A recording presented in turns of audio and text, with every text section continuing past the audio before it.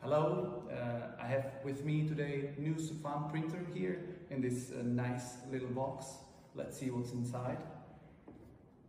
When we open the box, there is a user manual, USB cable to charge the printer, and obviously the printer itself.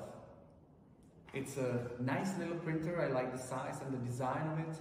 It's quite neat, it just fits right in your hand it's um, quite small, so it can fit uh, to any table in your office. You can have it at home to print any labels uh, you need just to organize your kitchen, your garage, or your office. Uh, the printer has already a uh, roll with labels inside. It's very easy to load the printer. You just take the roll, put it inside, and click back. The printer is ready to print. There is no ribbon or ink or anything like that. The technology of printing is direct thermal printing. So you just need the roll with labels and you're ready to go.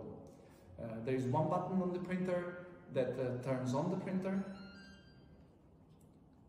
Also, it has a nice little feature. If you double click the power button, it automatically detects the, the end of the label so you don't lose any labels.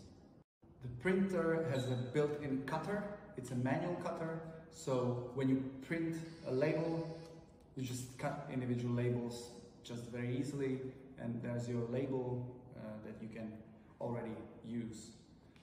Uh, the printer has a Bluetooth that connects to your phone. It's very easy, you just download an application to your phone that lets you create any text any, any picture, symbols, whatever you need, and it sends it directly to the printer and uh, you have your label. The, the application automatically finds the printer, so it's very easy to set it all up.